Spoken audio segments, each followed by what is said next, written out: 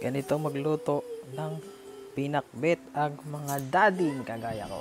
Kailangan natin ng baboy, bagoong, kamatis, kalabasa, bawang, sibuyas, ah, talong, ampalaya at magic sarap. Okay, magpakulo ng kawali at mantika. Tapos, pagkulo na, ilagay ang bawang. Siyempre, igigisa natin yan.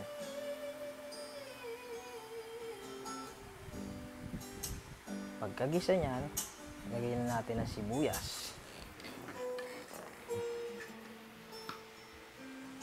Yung iba nauna sibuyas kaysa sa bawang. Pero mas gusto ko nauna yung bawang kaysa sa sibuyas. Kasi wala lang, gusto ko lang. Okay, tapos naghiwa ako ng kalabasa, tinadtad ko para humalo sa igigisa ko. Yan. Tapos, kamatis.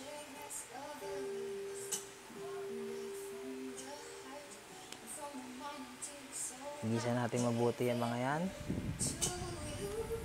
Tapos yan, lagay na natin yung baboy. Mas masarap ang baboy pagka ginigisa. Hmm. Saka hindi siya tumitigas. Malambot, madaling kainin. Ayan. Pagkatapos niyan, halu-haluin. Tatakpan naman natin yan.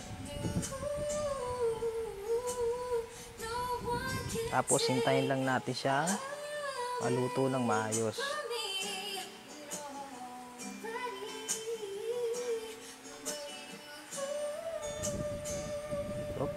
Tabingi. Okay. Ayan na, nasunog na. Hindi, mukha lang sunog yan. Pero sa totoo, muntik na masunog yan. Tapos, lagay natin yung bagong. Yan. Meron na tayong binagoong baboy.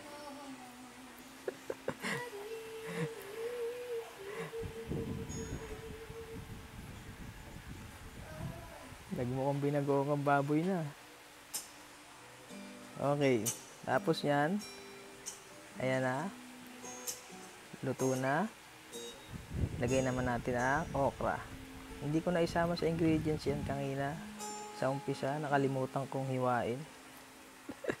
Pinaalala lang sa akin ng mama ko. Okay. Luto na yung okra. Ilagay na natin yung mga gulay. Kalabasa, talong, ayan, nagkakahalo na sila. Hindi ko na videohan eh, nakalimutan ko yung video. Ayan. Takpan natin, tapos, pag medyo kumulo ang konti, lagay naman natin yung ampalaya.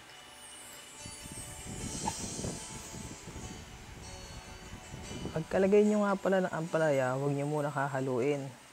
Kasi papait yan. Alam nyo ba yon? Sabi na sa akin ng mama ko yun. Tsaka ng asawa ko. Ayan, takpan muna natin siya. Pakulaan natin konti. Bahagya lang. Pagkatapos niyan, yan, itutok yung camera na maayos. Hindi. Yan, pakulaan muna natin siya mga ilang minuto lang. Tapos lagay natin yung magic sarap. Yung magic sarap kasi nagbibigay yan ng ano eh. Sarap eh. Parang magic. Di ba? Kaya nga magic sarap. Corny.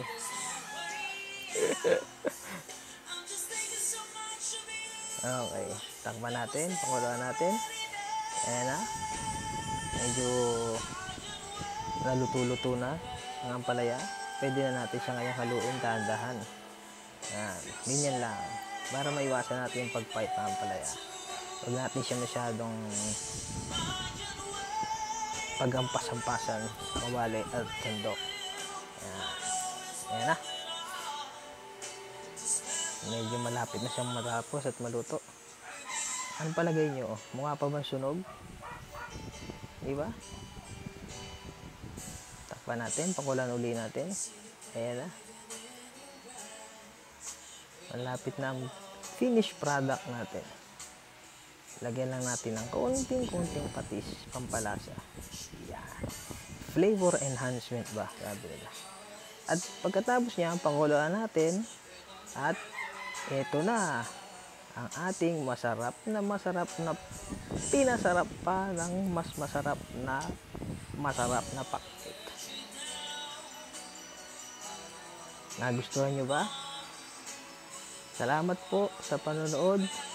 And subscribe and comment down below if may mga suggestions kayo sa tungkol sa aking pagluluto.